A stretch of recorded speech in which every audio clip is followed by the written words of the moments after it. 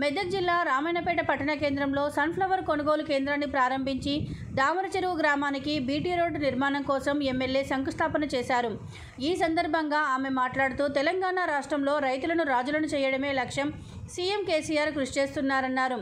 అన్ని రంగాల్లో తెలంగాణ అభివృద్ధి దేశంలోనే చెప్పుకోదగ్గ స్థాయిలో ఉందన్నారు. వ్యవసాయానికి కరెంటు సాగునీరు ఇబ్బందులు లేకుండా కాళేశ్వరం వంటి ప్రాజెక్టు నిర్మించి రైతులకు నీటి కష్టాలు లేకుండా చేయడం జరుగుతుందన్నారు.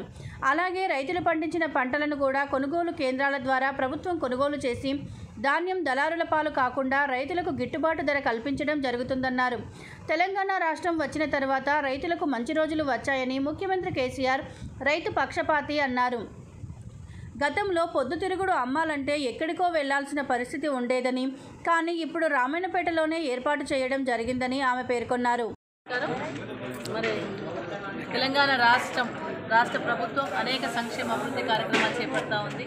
తెలంగాణ రాష్ట్రం వచ్చిన తర్వాత గౌరవ ముఖ్యమంత్రి గారు వ్యవసాయానికి ప్రాధాన్యతనిస్తూ రైతులను ఆదుకుంటూ రైతులకు అన్ని విధాల మరి మంచి చేస్తూ వస్తూ ఉన్నారు. ముఖ్యంగా రైతులకు కావాల్సిన కరెంటును ఇరవై నాలుగు గంటల కరెంటును బాయిల కాడ ఉచితంగా కరెంట్ ఇస్తూనే మరోవైపు ఎరువులు విత్తనాలు సకాలంలో అందించడం.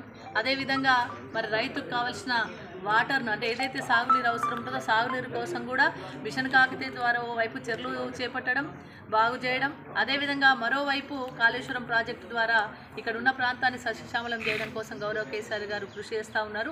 దాంట్లో భాగంగా రైతులకు కూడా పెట్టుబడి నిమిత్తం అప్పుపాలు కాకుండా వాళ్ళకు పెట్టుబడి కూడా ఇస్తా అని చెప్పి ఎకరానికి ఐదు వేల రూపాయలు కూడా ఇవ్వడం జరుగుతూ ఉంది. అదేవిధంగా రైతుకి ఎక్కడైనా ఇబ్బంది వచ్చినా రైతు బీమా లాంటి కార్యక్రమాలు కూడా చేపట్టడం జరిగింది.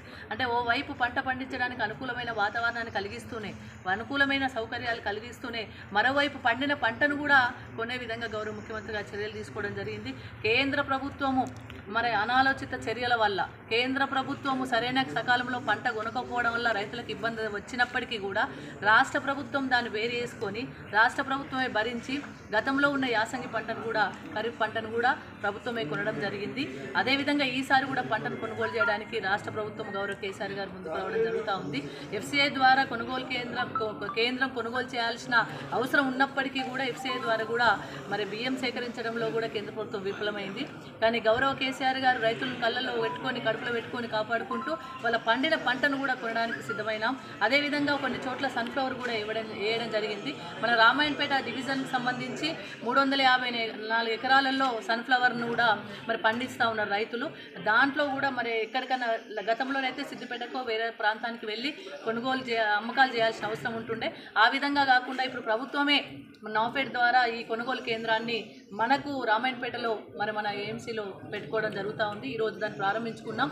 దాదాపు మూడు వందల యాభై నాలుగు ఎకరాలలో రెండు వేల ఐదు వందల క్వింటాళ్ళ సన్ఫ్లవర్ రావడం జరుగుతూ ఉంది. దానికి మరి ఈరోజు ఆరు వందల ఆరు వందల.